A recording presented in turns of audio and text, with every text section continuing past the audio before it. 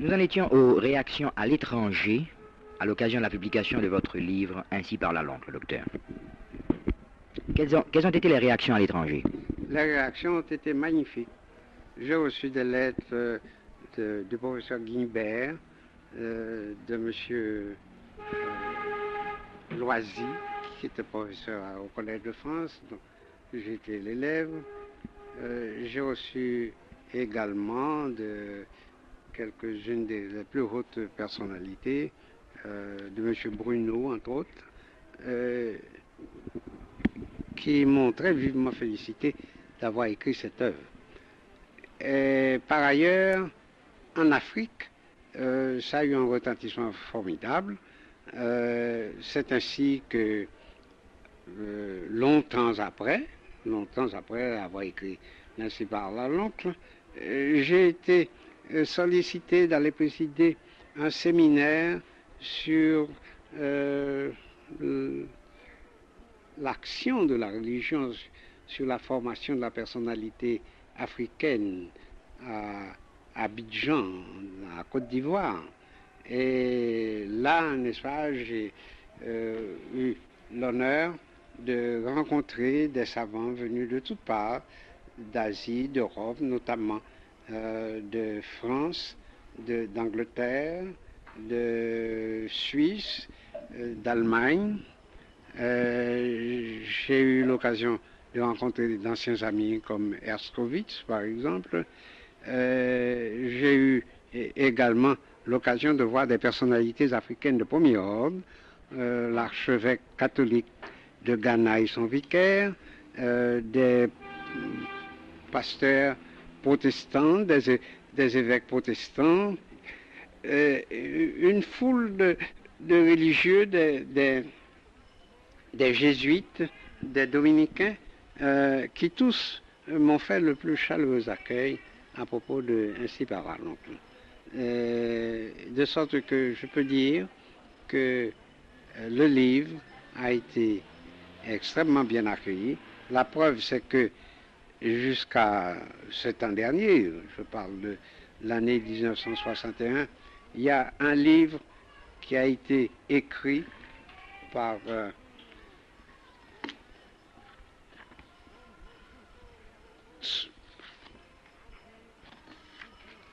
qui a été écrit euh, sous la supervision de l'Institut pédagogique africain et malgache et qui s'intitule Le livre unique de français de l'écolier africain, euh, abondamment illustré, où il y a euh, des exemples tirés des plus grands auteurs de la littérature française, Victor Hugo, Chateaubriand, euh, des auteurs classiques hein, tels que Alphonse Daudet et tous les autres du, du 19e siècle.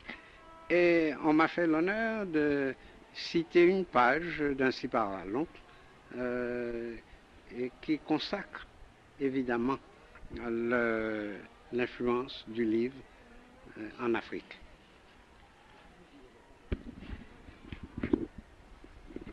Cette année, vous aurez 89 ans. 88 ans, docteur. C'est un bel âge. Dites-nous, quel est votre secret de longévité? Quel régime suivez-vous pour rester jeune aussi longtemps? À la vérité, je me demande si j'ai suivi euh, exactement un régime, diététique, mettons. Euh, j'ai été très maladif dans ma prime jeunesse. Euh, J'ai été assailli par les vers et j'ai failli mourir à plusieurs reprises. De sorte que depuis très jeune, on m'a assujetti à certaines restrictions au point de vue de la nourriture. Mais alors qu'en 1900, j'ai eu l'occasion de lire un livre de Metchnikov euh, sur euh, un livre. euh, Metchnikov a été euh, un professeur à l'Institut Pasteur et son livre est relatif à la longévité humaine par la diététique.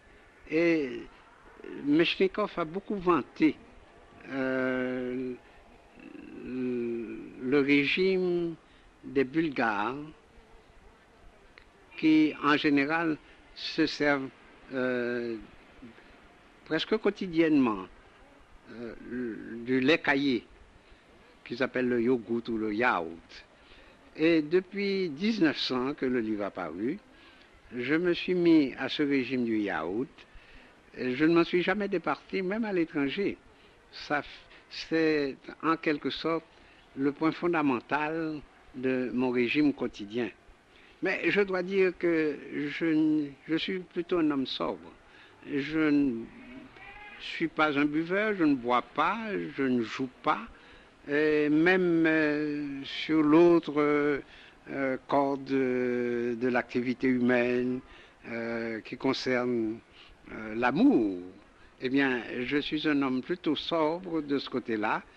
Euh, évidemment, j'ai eu dans ma vie euh, de brillantes étoiles qui ont constellé ma vie célibataire, mais je me suis abstenu toujours de fréquenter ce que les poètes appellent les étoiles éteintes.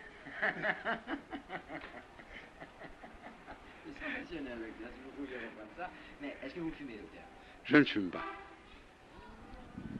Voilà un régime qui sera certainement suivi par tous ceux qui veulent arriver à 90, 92 ans, parce que nous espérons bien, docteur, que vous serez encore avec nous une dizaine d'années. Mais à cet âge, docteur, vous ne travaillez plus. Vous avez pris votre retraite intellectuelle. Non, docteur. Non, non, certainement. Non. Et vous êtes témoin en ce moment-ci que j'ai un manuscrit. euh, j'ai déjà écrit depuis deux ans euh, quelques 500 pages de ma grosse écriture. Euh, j'ai cinq cahiers de 100 pages euh, sur la vie d'un homme considérable. Je parle d'Antonov Firmin. Et je n'ai pas encore fini. Je suis arrivé peut-être aux deux tiers de cette vie et je m'empresse de dire que j'espère que cette année, si je ne meurs pas avant, n'est-ce pas, euh, j'aurai achevé le livre. Mais il m'arrive le plus souvent de travailler huit heures d'affilée. Et je n'ai pas de secrétaire. Je suis obligé moi-même de faire mon bouillon, de revoir ce bouillon quelquefois qui est très difficile à comprendre parce que euh, c'est surchargé de ratures, et alors de remettre au propre. Puis, c'est quand j'aurai fini complètement de transcrire les- peut-être les 600 ou les 700 pages que je remettrai le livre à la dactylographie. Et alors, à ce moment-là, n'est-ce pas, euh, je pourrais peut-être tâcher de, le publier.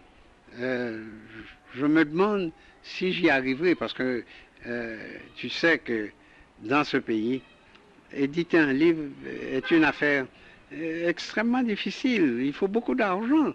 Et quelquefois, euh, le livre euh, n'est pas vendu. Euh, Je ne peux pas me plaindre, puisque en réalité, euh, j'ai eu quelques-uns de ce qu'on appelle des, best-sellers. Par exemple, Ainsi par la l'oncle, qui a eu deux éditions. Euh, mon livre sur la République d'Haïti et la République dominicaine. Euh, le livre récent que j'ai fait sur Villebrun Guillaume Sam, qui est complètement épuisé. n'est-ce pas? Mais alors, le marché du livre est très restreint, comme tu sais bien, est très restreint en Haïti. Et c'est pour ça que, dès le début, j'ai été un des partisans les plus farouches de euh, la campagne contre euh, l'analphabétisation.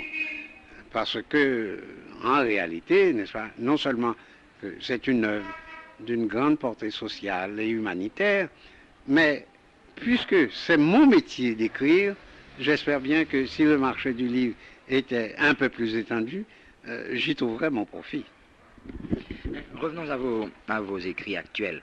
Vous nous dites travailler sur un essai sur Anténor Firmin. Alors, allons-y, docteur. Il me semble, non paradoxal, mais disons curieux, ou tout au moins extrêmement intéressant, d'étudier comme un fil conducteur à travers toutes vos œuvres. Reprenons un peu. Vos œuvres historiques, bien sûr. Vous avez d'abord eu un pamphlet sur l'homme de Cormier, sur Dessalines. C'est bien cela, docteur. Oui. Et puis, il y a eu un essai sur Jean-Pierre Boyer-Bazelet. oui.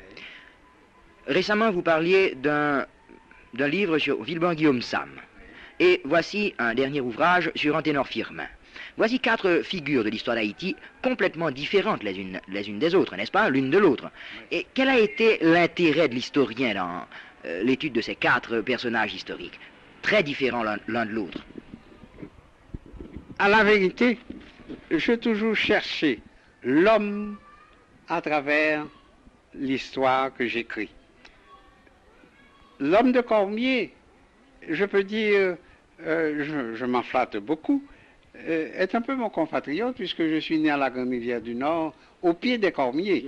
Et j'ai été euh, en- faire un pèlerinage à Viecaille, où la tradition veut que, euh, que Dessalines y naquit.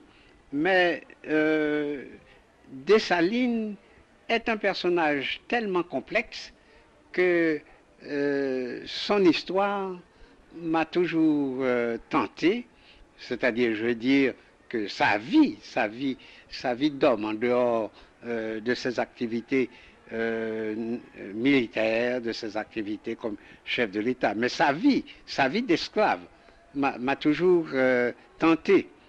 Et alors, j'ai cherché parmi les vieux de Cormier si je pouvais trouver quelques-uns d'entre eux qui avaient conservé des souvenirs qui ont été racontés euh, de génération en génération sur, sur Dessalines.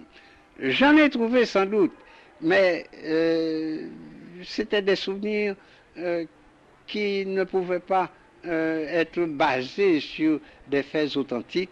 Et j'ai été très découragé, d'autant plus que sur Dessalines lui-même, j'ai commis l'erreur d'avoir édité ce qui est devenu euh, le portrait officiel de Dessalines et qui est absolument faux et inauthentique. Non, docteur. Et pourquoi? Eh bien, Vous récusez en quelque sorte une œuvre de... du début de votre carrière. Oui, parce que je vais, je vais te le dire tout de suite.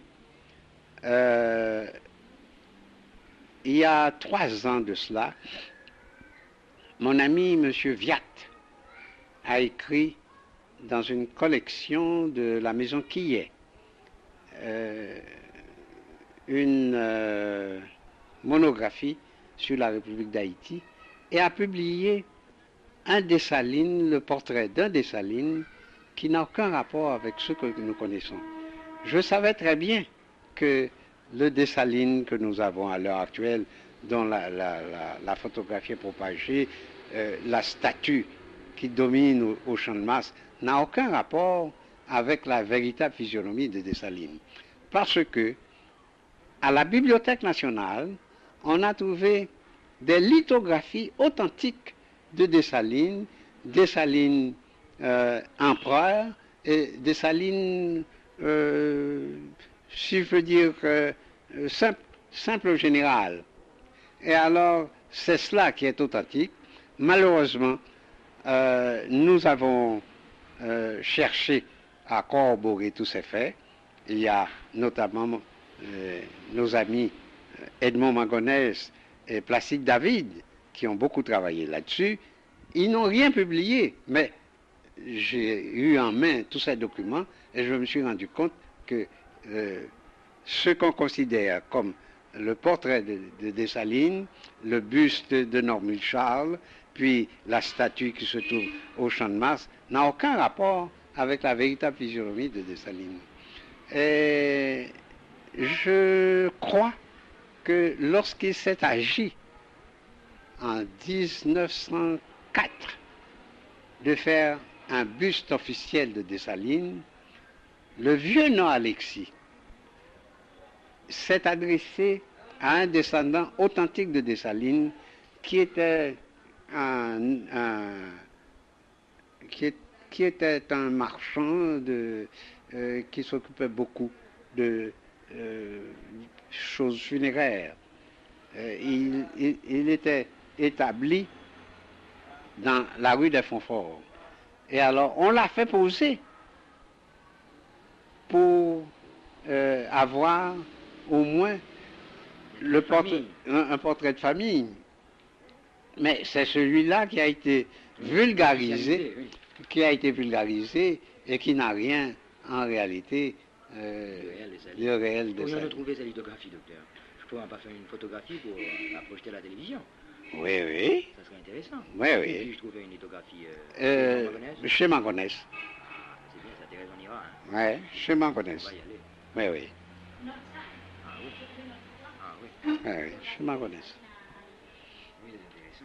Mais moi, j'ai compris, quand vous avez protesté euh, violemment tout à l'heure à propos de votre plaquette sur l'homme de Cormier, je n'ai pas, seulement, je n'ai pas pensé seulement à, au portrait physique. Je pensais que l'idée que vous faisiez de Dessalines... Ah non, non, non, non, non, non, non, non, non, l'idée reste... Euh, Disons le portrait moral, le portrait oui, matériel de Dessalines. Matériel de Dessalines, l'idée reste vraie. Euh, je dois dire que si je n'ai pas continué à écrire toute la vie de Dessalines, c'est que les documents sont extrêmement rares.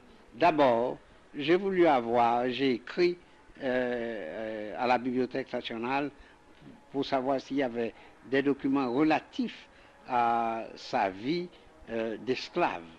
on m'a répondu qu'il n'y en avait pas. J'ai été moi-même faire des démarches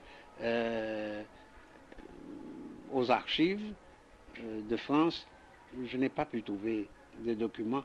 Et alors ça m'a découragé, je n'ai pas voulu écrire une œuvre romancée. C'est pour ça que je n'ai pas écrit la suite de ce que j'avais commencé, parce que en réalité, je n'ai parlé que de Cormier. Oui, je comprends. Alors nous en étions justement à ce fil conducteur. Vous nous avez parlé de l'homme de Cormier, et vous avez aussi écrit sur Jean-Pierre Boyer-Bazelet. Voici deux figures qui sont absolument opposées l'une à l'autre, n'est-ce pas Oui. Jean-Pierre Boyer-Bazelet m'a très vivement intéressé. Je vais vous dire tout de suite les raisons essentielles de cet intérêt. Mon père a été un libéral et un basésiste. Je suis né en 1876. Mon père m'a a trouvé rien de bien mieux à faire que de me donner le prénom d'un homme qui était en base de farouche, c'est-à-dire Price, qui était à ce moment-là président de la Chambre. Et mon père... Hannibal Price. Et mon père m'a souvent parlé de, de, Baselet comme étant le type de l'honnête homme, le type de l'homme qui euh, avait voulu en réalité être le président de la République pour euh, avoir un programme, un programme d'action euh, sociale qui n'est pas en rapport avec la propagande qu'on a faite de lui, puisqu'il était très clair, il était comme un blanc, n'est-ce pas? Et, alors que ça m'a très vivement intéressé quand j'ai trouvé les documents dont j'ai fait état euh, pour expliquer un peu ce qui s'est passé à Miragouane et j'ai noté, euh, je, crois avoir beaucoup déçu les, hommes qui croyaient que en réalité, Boyer Bazin fut un révolutionnaire comme un autre. Mais dans ce petit livre, on peut voir combien c'était un homme extrêmement méticuleux, extrêmement pointilleux pour tout ce qui concerne euh, la direction de l'opération militaire et la direction de, l'opération financière. Le moindre petit billet était conservé et on peut dire que ça constitue pour lui un document unique d'honnêteté. Et alors, ça m'a beaucoup plu de faire un, baselet euh, dans le drame de Miragouane. Maintenant, en ce qui concerne Vibran Guillaume Sam, mais j'ai raconté dans le livre pourquoi je l'ai écrit. C'était un homme qui n'était pas précisément ce qu'on appelle un politicien dans ce pays. D'abord, euh, il avait une horreur du mensonge. Il était bref, net et absolument euh, intransigeant en, ces matières. Et je suis très heureux de dire que l'amitié qu'il a eue pour moi, amitié dont il a fait constamment état, c'est que il disait de moi, c'était très flatteur, voici l'homme que j'aime, parce que ses propos sont toujours des propos euh, d'un homme qui aime la vérité et qui hait le mensonge. Et alors, euh, comme je sais que dans la vie qu'il a menée au Palais national, pendant la courte durée de, son gouvernement, était une vie de lutte. Et que, en réalité, selon son sentiment propre, s'il avait donné l'ordre à Charles Oscar de faire fusiller ces gens-là, il n'aurait pas menti, il aurait dit oui, j'avais donné l'ordre. Mais je savais très bien qu'il n'avait pas pu donner l'ordre parce que auparavant j'avais causé avec lui des tendances de Charles Oscar.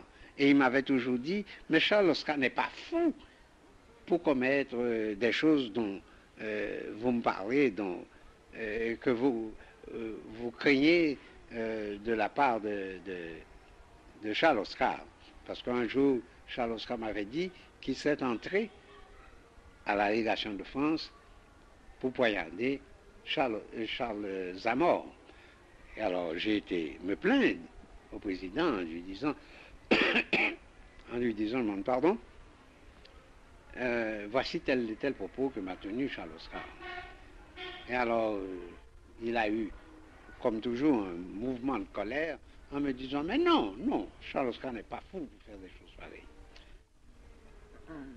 Permettez que je vous interrompe un petit moment à propos du Avez-vous eu, dans votre plaquette, dans votre livre sur Villepoix, vous êtes euh, intéressé à réhabiliter, non pas non réhabiliter, mais justifier euh, la, journée de juillet, n'est-ce pas, et euh, décharger les épaules de Villebrun de la responsabilité du massacre des prisons. C'est bien clair.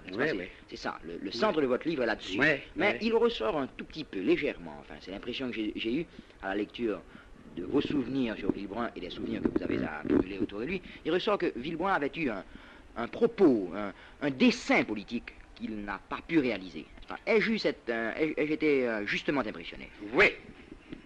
Il m'avait positivement dit ceci, qu'il a besoin de stabiliser d'abord son gouvernement pour faire les réformes qu'il avait en vue. Et d'abord, c'était un homme qui, avait un respect scrupuleux de la Constitution.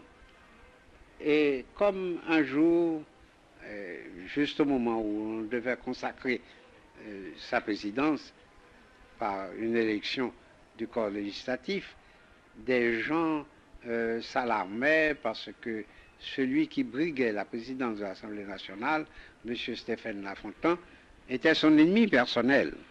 J'ai été lui en parler. Il m'a dit non, je, ne veux pas me mêler de la cuisine parlementaire euh, au point de euh, contribuer à faire élire un président du Sénat. J'ai été trop souvent froissé de l'immixtion des chefs d'État dans les affaires particulières parce que j'ai été président de chambre pendant une dizaine d'années pour que moi je vienne donner l'exemple de cette immixtion à propos d'une élection euh, du, président, du Sénat. Laissez ces gens-là faire leur affaire, euh, qu'ils nomment le président qu'ils veulent. Et, alors, euh, cet homme qui aurait pu accepter les propositions que lui, avait faites monsieur, le, représentant de M. Wilson, M. Miller, euh, avait des scrupules fondamentaux, des scrupules patriotiques de ne rien accepter qui ne fût accepté par la représentation nationale d'alors. Et c'est pour ça que chaque fois qu'il y avait une proposition américaine, il faisait venir le président du comité des affaires étrangères du Sénat, celui de la Chambre, le président de la Chambre, le président du Sénat, en conseil des secrétaires d'État pour discuter largement sur les propositions américaines. En réalité, je crois que c'est un homme qui aurait fait un chef d'État tout à fait digne parce que il avait été froissé, il avait été humilié, il avait été profondément crucifié de cette affaire de la consolidation. Et alors, il voulait se racheter devant le public comme l'un de ses prédécesseurs, je parle de Cincinnatus Lecomte, qui était aussi un consolidaire. Un, un consolidaire. Et qui a eu, à un moment donné, euh, presque tout le pays après lui, parce qu'il a commencé des réformes de profondeur, l'armée et tout le reste. Alors, moi je continue ma petite idée au sujet de vos quatre euh, figures Oui. historiques. C'est une idée qui m'est venue en lisant vos, vos études historiques. Vous voyez, c'est pourquoi je vous ai posé cette question, docteur. Bien sûr, on ne va pas le dire euh, de cette façon. Mais vous voyez, Dessalines, qui après euh, deux ans, il n'a passé que deux années au pouvoir, Oui. enfin au pouvoir euh, indépendant. Dessalines, donc, chef d'État, deux années. Villeboin-Guillaume, quelques mois, comme chef d'État. Ce sont les deux chefs d'État qui vous ont intéressé. Oui. Ensuite, un chef politique, Boyer-Bazelet, Oui. qui n'est jamais arrivé au, à l'exercice du pouvoir, ainsi qu'Anténor Firmin. Oui. Voici quatre figures d'échecs politiques. Oui. Est-ce que ce n'est pas l'échec politique, l'échec chez l'homme politique qui vous a attiré, qui vous a fasciné dans ces quatre œuvres? Mais tu as entièrement et absolument raison. J'ai cherché à mettre en évidence pourquoi, depuis l'indépendance jusqu'à nos jours, il y a constamment cet échec politique. Et j'en suis arrivé à cette conclusion un peu amère que nous mettrons encore très longtemps avant d'arriver. Docteur, ça, Ouais. peux pas enregistrer ça. Ah, Je peux pas enregistrer ça, docteur. Oui, bien sûr, regardez le document. Non, mais vous voyez ce que je veux dire. Moi, c'est ça qui m'a frappé. Je voulais vous, poser la question, n'est-ce pas? Si, à un certain moment, l'idéaliste, disons l'homme qui a un certain idéal pour son pays, Ouais. n'est-ce pas, n'arrive pas à se buter contre une réalité qui est trop forte, trop, Trop puissante et qui finit par l'abattre. ouais, Hmm? ouais. Mais ça, je peux le garder, n'est-ce pas cette, cette notion d'échec, n'est-ce pas, qui est le, fil conducteur de vos Le œuvres. fil conducteur. Hein Oui. Bon, alors maintenant, envisageons la- l'aspect. Ah oui, il y a un autre aspect, n'est-ce pas On va s'attarder un petit peu sur Firmin parce que, euh, étant donné que vous n'avez pas publié, Ouais. j'aurais aimé quand même avoir la primeur de certaines découvertes. Vous voyez ce que je veux dire, n'est-ce pas? Alors, à propos d'Anténor Firmin, nous avons lu, nous avons tous lu. euh, le téléspectateur connaît vos trois œuvres sur euh, L'homme de Cormier, Villebrun-Guillaume et Boyer-Bazelet. Mais à propos d'Anténor Firmin, quelle est la nouvelle lumière que votre œuvre actuelle pu, jettera sur la figure de Firmin? Je, Comment voyez-vous vous-même le Anténor Firmin? Je compte démontrer qu'Anténor Firmin a été un homme extraordinaire par euh, sa personnalité vigoureuse, tant au point de vue intellectuel qu'au point de vue politique.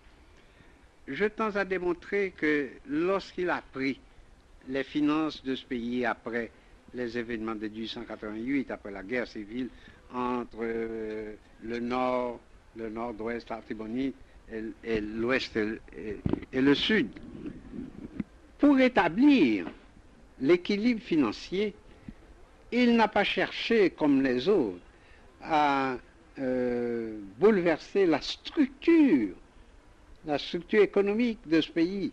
Il n'en aurait pas eu le temps. Et alors, pour lui, l'essentiel dans la gestion de nos finances, c'est d'abord une administration sérieuse, l'honnêteté et ramener en réalité nos dépenses à, nos possibilités de, les satisfaire.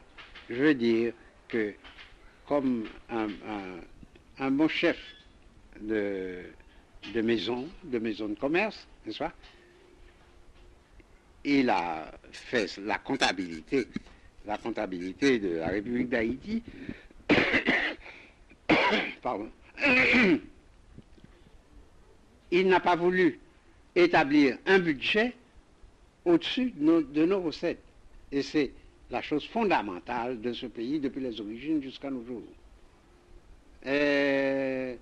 Quand il a été euh, nommé ministre des Finances après euh, l'insurrection qui a duré une année entre l'Ouest et le Nord, sa première légitime, à la chute de légitime.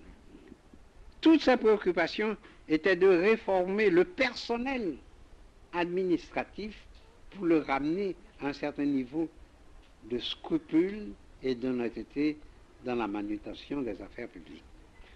Et ensuite, chercher de telle façon que les ressources du pays puissent suffire à couvrir les dépenses de l'administration sans recourir à ces emprunts onéreux, car euh, il y a une chose que je vais mettre en évidence. Pendant, il a été nommé ministre des Finances exactement en octobre 1889 et il a quitté le pouvoir en juillet, en, mai, en mai, mai 1891. Mais pendant cette période, il n'a jamais fait d'emprunt, il a toujours payé rationnellement toutes les obligations de l'État euh, dans tous les départements généralement quelconques. Quand il a été appelé par Thierry Simonsam pour succéder, par Thierry Simonsam, pour succéder à euh, Fouchard, sa, sa, grande préoccupation, ce qu'on a appelé le programme du 4 janvier 1896, euh, ça a été, et il a écrit au président,